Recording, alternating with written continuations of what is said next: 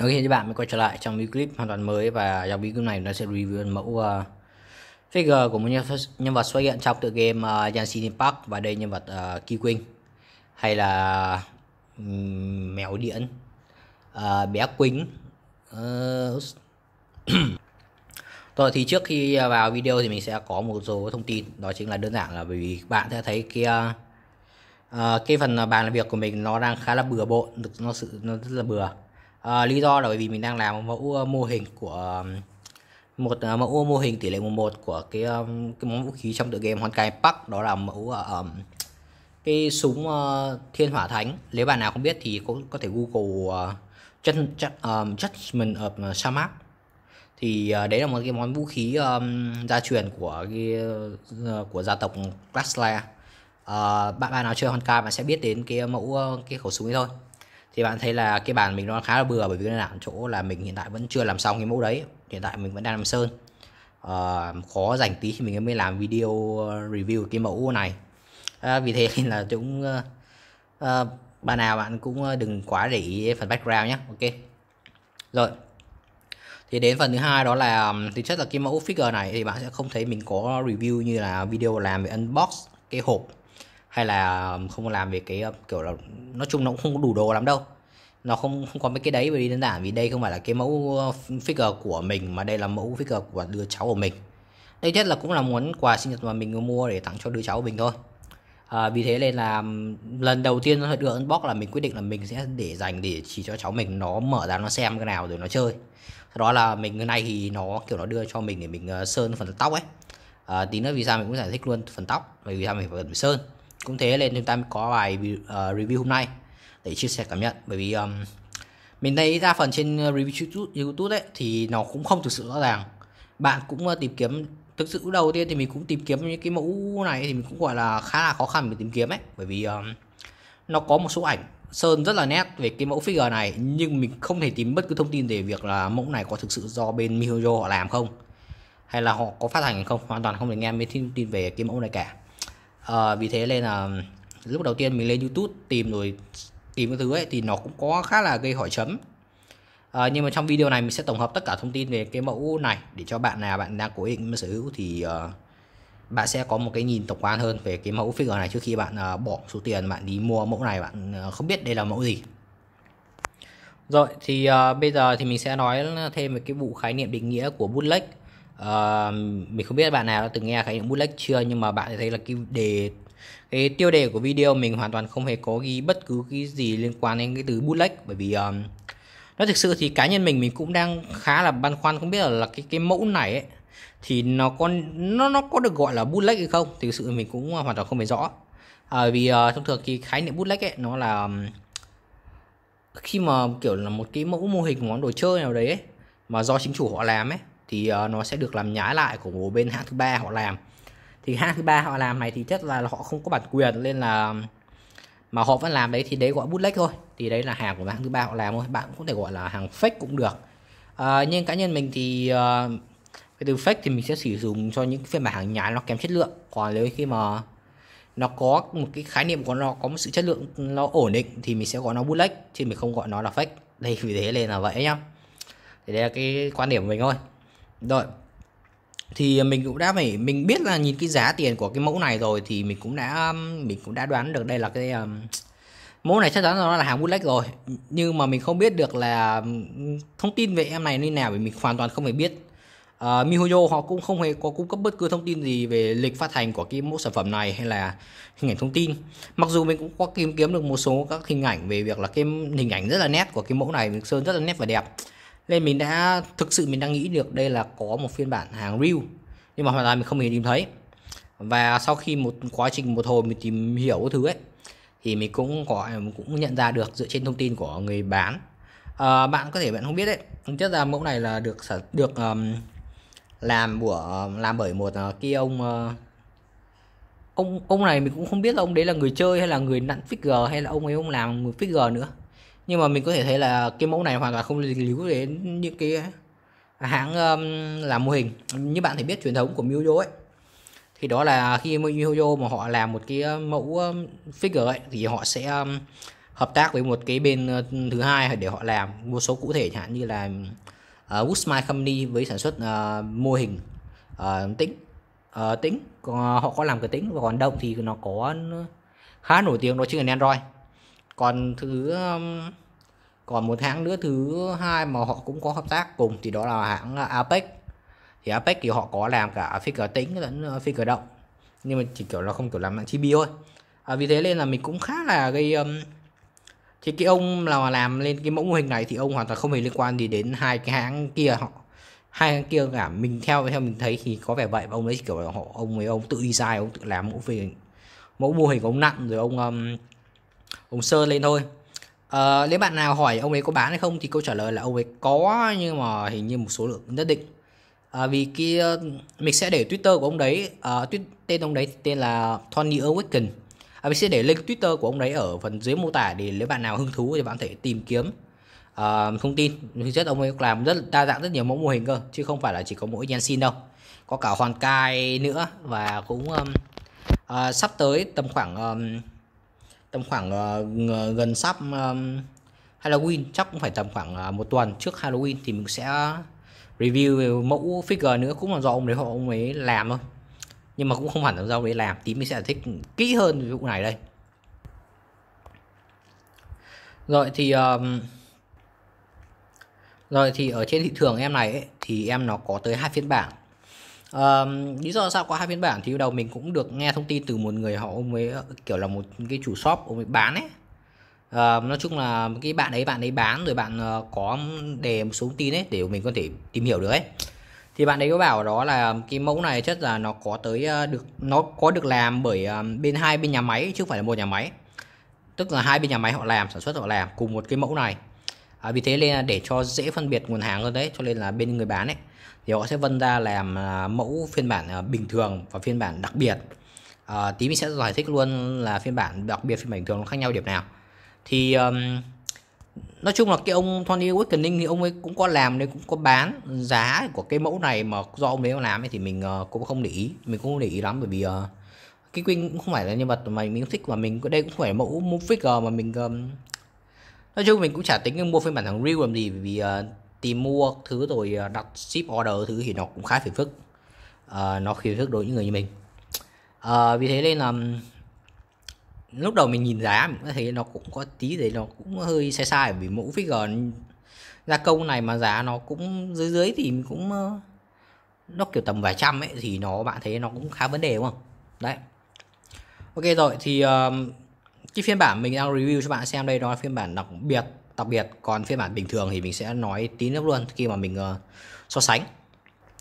Nói chung là sẽ ờ, mình không biết là bên nhà máy kia họ kiểu họ có hợp tác cái ông kia hay ông kia ông kiểu bán file không ấy. Nhưng mà có đấy thì hai bên nhà máy kia họ đều có sản xuất họ đều có file về cái mẫu này và họ đều có làm. À, nó cũng có khác nhau. Về mình cũng có tìm hiểu thêm nữa um, thực sự thì lên khi bạn lên youtube ấy mà tìm ấy thì nó cũng khá khó khăn để tìm bởi vì cái mẫu này nó cũng không có một cái tên chính thức. Uh, miHoYo có làm của figure của Kikwing nữa luôn nhưng mà ở trong thế POU là um, Kikwing lúc khi sử dụng cái chiêu quy cái chiêu ultimate ấy. Uh, vì thế nên là lúc khi tìm sẽ có cả hiển thị của cái kết quả đấy nữa. Vì thế nên là cái mẫu này về hình ảnh các thứ thì nó cũng sẽ rất là dễ bị lẫn lộn nhau. Vào thời cũng không có bài review nào đấy thực sự chi tiết kiểu là nó đánh giá chi tiết sản phẩm này như nào ấy vì thế nên là lúc đầu mình cũng khá là khá là gây ờ, hoang mang nhưng mà không sao. Trong video này mình sẽ nói thẳng luôn những cái thông tin về cái mẫu này mà bạn có thể tìm được. Rồi trước tiên là về cái phần ờ, khuôn mặt đầu tiên vì đây cũng là phần rất là quan trọng. À, khi nào mà mình mua một mẫu figure ấy thì đa phần là thứ mà mình phải để ý đầu tiên đó chính là à, mình không để ý quá nhiều về phần kiểu body cơ thể nó phải như này như phải như kia. Nhưng mà nhất là khuôn mặt nó phải làm thực sự rất là đẹp thì mình mới nó không phải kiểu quá xuất sắc nhưng mà ít nhất nó phải nó phải nó phải tả đúng chất hồn người, hồn người của chính cái nhân vật đấy thì mình mới công nhận. Các bạn thấy cái phần mẫu figure Keyquing thì phải gọi là thần thái biểu cảm nó đang ờ, nó đang rất là rất là ổn. À, mình cũng đã so sánh giữa phiên bản uh, hàng uh, hàng biển bình thường và phiên bản đặc biệt rồi. Cái phiên bản đặc biệt mà trước mắt các bạn nhìn đấy thì cái phần uh, thực chất là về vừa phụ kiện của cái mẫu figure ấy, thì cả hai đều như nhau thôi nó không khác nhau gì mấy. À, chỉ khác nhau thì nó kiểu uh, cái phây ấy thì đa phần là phây một mặc định ấy nó gắn trên ờ, trên ờ, cái wing ấy. Thì uh, mồm nó sẽ đóng lại. Tức là kiểu là hơi uh, kiểu nó nó nó đóng đóng miệng lại cơ chứ nó không kiểu nó mở ra. Còn phây hai này như bạn đã thấy ấy thì nó đang được uh, mở mở ra. Uh, thì uh, lý do sao mà lại mình lại sử dụng cái phây này rất là cháu mình? À, mình cũng đã có khuyên cháu mình nó là nó sẽ lên để phây này bởi vì cái phây một kia mặc định kia ấy thì ở phần mũi là nó có một cái phần chấm đen và mình thì lúc đấy mình đã không có dụng cụ nên mình cũng ờ, mình cũng không thể gọi là mình ngồi mình fix luôn bằng tay không kiểu kiểu vậy được. Vì thế nên là mình cũng bảo cháu mình đó là thôi cứ để yên phim cái cái phây này vì cái phây mà mở mồm ra thì nó có cái nét để nó tự nhiên hơn. Còn nếu bạn nào hỏi là cái phây của bên bản bình thường phiên bản đặc biệt khác nhau để làm nào ấy thì mình có thể nói thẳng luôn đó là cả hai đều là không không khác nhau gì mấy. À, tức là nó đều chỉ có hai gương mặt một là một ờ, phây mặc định là miệng nó sẽ đóng. Còn ờ, phây thứ hai để thay thế thì miệng nó sẽ mở như này. À, khác nhau duy nhất nó nằm ở cái con mắt đó chính là phây cái phây mà nó cái bản đặc biệt mà bạn đang thấy ấy thì các bạn thấy là cái mắt nó nhìn lệch sang một hướng. Chứ nó không phải nó nhìn trực tiếp. Vì thế nên là nó có một cái nét đấy nó rất là nó tạo sự tự nhiên nó hơn là cưỡng chế. Còn cái phây mà còn khi mà bình thường ấy thì mình nhìn thấy cái face nó trông nó cứ có hơi nó hơi ờ, nó hơi vô hồn một tí nó hơi mất tự nhiên. Và mình cũng nhận ra đó là phiên bản uh, đặc biệt này thì phây nó làm nó sát nhất so với cái phây của cái ông kia ông đã của chính cái chủ chủ ông uh, Tony Wicken thì ông làm. Đấy. Uh, như bạn thấy là nhưng mà điểm lỗi điểm phần tóc chắc chắn là bạn nhìn thấy rồi. Cái tóc của Kiwing thì nó gọi được sơn theo kiểu nó là bán à, về chất liệu thì nó là chất liệu ờ, nhựa dẻo thôi. Cũng có thể tháo ra được. Bạn thấy cái phần đường ờ, nứt đây. À, bạn thấy phần đường nứt đây thì bạn cũng vẫn cứ tách tách phần tóc mái ra rồi bạn cây phần khuôn mặt bạn lắp vào thôi. Nó cũng không thay đổi mấy đâu nó bình thường mà. À, nhưng vấn đề chỗ là phần tóc của Kiwing ấy thì nó lại được làm theo kiểu dạng bán transparent tức là kiểu nửa một nửa ở trong ấy còn một nửa nó không trong nó đục ấy kiểu kiểu vậy. Nó tức là sơn chỉ sơn một tí thôi. Về chất liệu như nhựa thì nó làm bằng nhựa dẻo vì thế nó dẻo hơn hẳn so với các uh, với các uh, phần khác. Vì thế nên là phần tóc này thì tuy trông nó khá cồng kềnh nhưng mà nó cũng không bạn cũng không phải lo việc nó sẽ bị hư gãy đâu. Nên là nói chung là uh, vẫn nên cẩn thận một tí thì hơn. Ok. Uh, phiên bản uh, thường dân ấy thì mình nhận ra một điều đó là mình không biết vì sao nhưng mà phiên bản thường dân ấy, thì nó có vẻ nó sơn chi tiết hơn à, thì nó chỉ khác ở chỗ đó là một số đi theo đi theo ở trên người ấy. Thì uh, nó sẽ làm trông khá là thô. Ví dụ như phần mại mại tóc mái này. Uh, phiên bản tóc mái bạn đang thấy này thì là phiên bản đặc biệt ấy. Thì mình đánh giá là ờ, sau khi mình so xét giữa hai ảnh thì mình nhận ra là màu sắc của phiên bản đặc biệt nó có thể nó không đầy đủ bằng. Nhưng mà cái phần uh, phần đúc khuôn ấy thì nó gọi rất là đẹp bởi vì uh, nó không nó không phải là quá đẹp nhưng nhất là trong tầm giá thì vẫn còn là đẹp và nó sắc nó không có kiểu là nó quá là thô hay là phần tóc nó, nó dính với nhau. Trong trường hợp này thì nó cũng có dính với nhau ấy mặc dù lên hình mẹ đúng hình ảnh nó có băng chiếc quảng cáo. À, vì thế nên mình cũng đoán suy suy đó là phiên bản bình thường thì tóc nó cũng không có đẹp như nó không kiểu ránh ránh kiểu nó tách ra từng phần mảnh mảnh ấy đâu. Thì mình nghĩ sẽ tệ hơn một tí còn đây là phần uh, chi tiết tơ sơn đây. Nó cũng không phải gọi là quá hoàn hảo. Hay là một số chi tiết khuôn nó cũng là bề mặt khá thô nó còn một số đường này. Uh, nhưng cũng không thể gọi là còn cái phần một số chi tiết như là phần này đây. Uh, lúc đầu tiên thì mình nhận mình uh, đánh giá đó là cái phần uh, bạn thấy chi tiết màu uh, trên cái ngực của phần kia wing không? Thì nó cũng chi tiết màu xanh ấy thì nhìn trông khá là lem, mặc dù khi mình xem hình ảnh so sánh ấy, thì phiên bản đặc biệt ấy, nó gọi sơn nó nét hơn, và còn phiên bản bình thường nó sơn nó nó cùi hơn một tí. Như bạn thấy là một số phần đường ờ, nhựa nó còn khá là tệ, sơn khá là tệ, nhưng mà cũng ờ, biết sao giờ, nói chung là hai phiên bản thì nó cũng ờ, nó cũng chỉ thế thôi. Rồi, thì đến một cái phần nữa là cái phần mà bạn thấy hay, thấy ảnh ấy thì lúc đầu trên ảnh thì mình nhìn nghĩ mình đã à, bạn thấy cái phần ờ, đôi giày của Kim không? Thì ờ, cái phần này nó được sơn một tí màu gold và một tí màu ờ, màu kiểu viên ngọc trai và cái phần cổ giày nó là sơn màu đen ấy. Lúc đầu mình nghĩ phiên bản uh, bình thường thì nó sơn đầy đủ nhưng mà phiên bản đặc biệt thì nó sơn không đầy đủ. Thậm chí là nó không có tí màu đen nó cũng không tí màu vàng gold chỉ có mỗi một cái viên ngọc thôi ấy ở lúc đầu mình đang còn nghĩ mình sẽ phải đem sách để mình sơn cơ nhưng mà thật may mắn là nó ở đây nó sơn vẫn khá đầy đủ ngay cả phần đế dày dưới này. Còn về phần uh, về phần đôi tất thì cũng uh, mình cũng không biết mình khá là ba chấm cái vụ đôi tất này. Và mình không cho bà soi xịp đâu không bao giờ. Còn đây là một số phần đi theo như của cái phần uh, đây phần uh, vạt áo hay là cái gì? Hay là váy cái thứ ấy. À, phải gọi là Tuy nhiên thôi thì đây cũng vẫn là mẫu bootleg cho nên là bạn chúng ta cũng để đòi hỏi việc là nó đi theo nó phải à, xem cái vision không. Cái vision thì nó cũng có nhưng mà có vẻ cũng khá là mờ và bị tóc nó che rồi. Đây cũng là một phần uh, cũng không được để chu chăm chút lắm. Đây thì phần đằng sau đây. Và cũng thấy bây giờ mình ngồi so lại mình nhận ra đó là có một cái phần khe ở phần khớp này đây. Nó khá là lộ liễu vì thế mình cũng khá là tiếc. Uh, nhưng mà thật may mắn thì khi mà bạn uh, trưng bày thì đa phần là bạn sẽ trưng kiểu này thôi. Tất nhiên nó vẫn sẽ có lộ nhưng mà đa phần thì chúng ta sẽ nhìn dí mắt vào cái búp ba chứ chúng ta sẽ không nhìn cái phần vai một phần vai cũng quan trọng nhưng mà thôi nhất nó cũng không quá lộ liễu. Ít nhất là cái phần mặt này nó vẫn hướng về mặt đằng sau. Nên là uh, như bạn thấy đây thì thì mình cũng khá là hỏi chấm về ba chấm về cái vụ uh, sơn này. Nói chung là chất lượng nó cũng không phải gọi được gọi là quá hiện nó khá là cao nhưng mà ít nhất thì nó cũng không đến độ quá là tệ nó không đến độ quá tệ. Và nói chung là cái phây thì đa phần nó gánh hết mọi thứ rồi nên là xung quanh cái thứ nó cũng uh, nó cũng ba chấm thì thôi mình cũng bỏ qua. Cái khác điểm điểm khác biệt nữa đó chính là ở cái phần bay ấy. Thì cái phần bay của phiên bản đặc biệt này thì nó sẽ sơn một cái màu nó không phải kiểu này như bạn biết thì cái phần bay chính gốc của chính ông Tony ở Quyết làm ấy thì cái phần ờ, đáy ờ, phần đáp ở trên này, này cùng với cái phần uh, dây xung quanh các thứ và cái phần đáy bát này dưới này thì nó đều sơn màu tím nó màu tím tối tối một tí. Nói chung là nó màu nó khá nhập với Kiwing còn cái phần mà bạn thấy ở chính giữa này như kiểu hai viên kim cương nó đụng đụng đít vào nhau rồi ấy thì nó sẽ được làm nhựa clear trong suốt màu trắng trong suốt clear luôn. À, như phiên bản bay đấy nhưng mà đấy thì bay chính chủ của ông Tony Awakening làm thì nó như vậy. Phiên bản ờ, bình thường thì nó cũng làm theo bay kiểu vậy. Nhưng phiên bản đặc biệt thì nó sẽ làm theo bay mà nó sẽ được sơn một cái kiểu hiệu ứng uh, giả extend hay là một cái một cái dạng hiệu ứng mà mình cũng không biết gọi tên nó nó là cái gì. Còn vụ uh, cắm đa phần thì góc nhìn nào nó cũng sẽ bị che thôi nên là cũng không soi được đâu à, nếu bạn nào đang tự hỏi là phần chốt này nó cắm kiểu nào thì đơn giản nó sẽ có một cái chốt ờ, nó, được gắn ở dưới ờ, trên nó sẽ có một cái chốt tầm khoảng 3 mm nó được kéo cao lên từ cái phần bay và nó cắm vào đít mông của Kiwi chứ nó cũng, cũng chẳng có gì quá đặc biệt lắm.